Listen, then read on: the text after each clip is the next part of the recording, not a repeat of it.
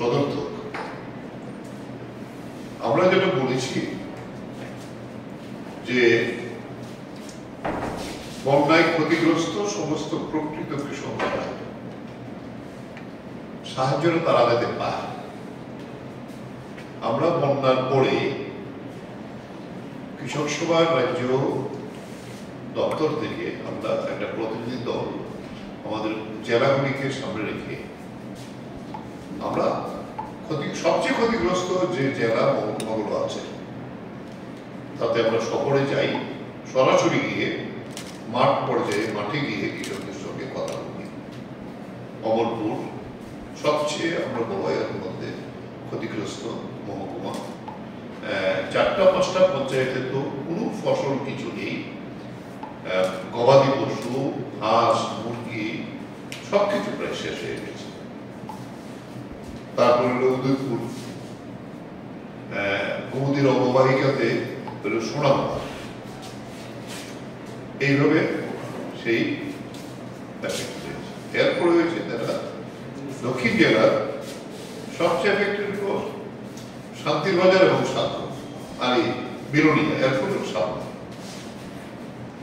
এছাড়াও আটটি জেলাতেই আমরা তারপরে আমাদের রাজ্য কমিটির মিটিং হয় মিটিং সেই রিপোর্ট হয় যে কম বেশি সব জায়গাতে তবে এইগুলি একটা এবং তাতে আড়াই লক্ষাধিক কৃষক আমরা যে প্রাথমিক যে অ্যাসেসমেন্ট আমাদের এসেছে সংগঠনগতভাবে, কৃষক ক্ষতিগ্রস্ত, সরাসরি যারা ধান সবজি, তার সংযুক্ত তারপরেও ফুল চাষি, পান চাষি বিভিন্ন হর্টিকালচার ক্রপস যারা করে তারা, এরকম আরও প্রায় দশ থেকে পনেরো হাজার চাষি এরকম আছেন যারা ধান সবজির বাইরে তাদের পানের বিরাট ক্ষতি হয়েছে।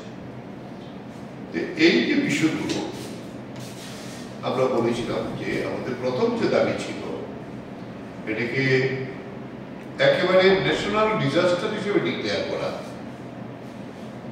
কিন্তু দেখা গেল, আমরা মুখ্যমন্ত্রীর কাছেও চিঠি দিয়েছি, এটা করেনি এখন পর্যন্ত। কি কারণে করেনি আমাদের যেটা মনে হয়েছে? ন্যাশনাল ডিজাস্টার যদি ডিক্লেয়ার করে স্টেট কেন্দ্রীয় সরকার এর সাহায্য দিতে বাধ্য। এরকম একটা আইন আছে। ডিজাস্টার প্রোডাকশনের আইন যে আছে। বলে সেই জায়গায় দাঁড়িয়ে দেয়নি। এটা টিম এসেছিল। টিম টাকা কি দিয়েছে এখন পর্যন্ত আমাদের জানা নেই। যে টাকা দিয়েছে এটা আমরা যতদূর জানি প্রতি বছর এই টাকাটা আসে, বন্যা কিংবা বাড়তি দুর্যোগ না হলেও আসে। এটা ম্যানেজমেন্টের এর বাইরে পর্যন্ত টাকা যে আসেনি, এটা প্রকার অন্তরে কালকে কৃষিমন্ত্রী আমাদের কাছে স্বীকার করেছে যে আমরা বললাম যে আপনি যেখানে কয়েক লক্ষ লক্ষ টাকা ক্ষতি হয়েছে কৃষকের, আপনারা দিচ্ছেন এক হাজার। এটা সিন্ধুতে বিন্দুর চেয়েও খারাপ হয়ে গেছে। এবং এটা হয়েছে। তারপরে হয়েছে, এই টাকাটা সমস্ত ক্ষতিগ্রস্ত কৃষকরা পায় না। আমাদের কাছে যে রিপোর্ট আছে। এবং মাছ কৃষি দপ্তর না হলো এটা আমার কৃষক নেই করে। আর এটা উপর নিজের প্রশ্ন সমস্ত মাছ